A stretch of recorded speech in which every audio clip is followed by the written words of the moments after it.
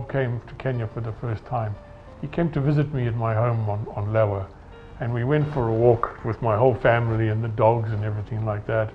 And as I was work, scanning with my binoculars, I looked, I looked up and I said, wow, there are two lions up there. And, and I said, and they're watching us. Immediately, my entire family, dogs and everybody else vanished and ran away up the road towards my house.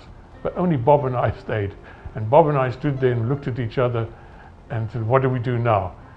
And then we slowly, slowly walked back. And afterwards I said to Bob, why didn't you run away too with my family? He said, because you had the gun. Now, Bob didn't know that the gun that I had was a tiny little gun that couldn't stop any lion. But every day I'm reminded of that incident and of the, of the relationship that I had with Bob, of his sense of humor, his sense of style, his dress sense. And I still think sometimes uh, Bob is there with me when I'm walking down that road uh, with my dog.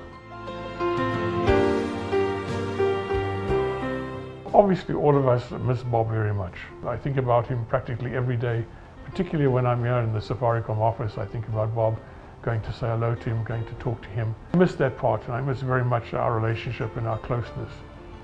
But he also gave me an, a sense of, of humility and, and, uh, and understanding and also admiration for the courage of Bob during, during his time that that he was struggling with, uh, with his disease. He gave me that sense of, you know, you can be in times of adversity, you can have courage and you can still have a sense of humor. I remember going to visit Bob when he was in hospital and every time, without fail, I'd get there, Bob was always impeccably dressed, color matching, and I walked in and he always remarked about my lack of dress sense and even told the, the nurse that came to see me, he says, this was my successor, but you wouldn't know it because of the way he dresses.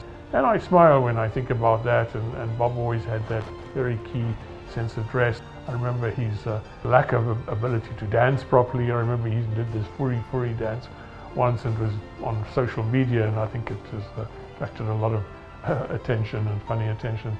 So this, this was the, the, the, Bob that lives in my memory, a person with a great courage, uh, humility, and a person that really, really related to the people around him.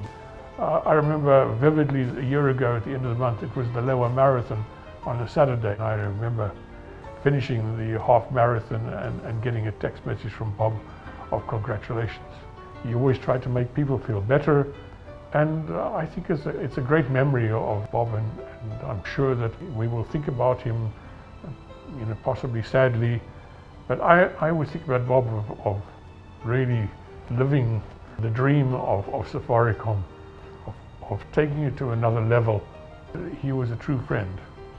His memory will always be there, be very special, and, and remember him as, as a special, a very special person.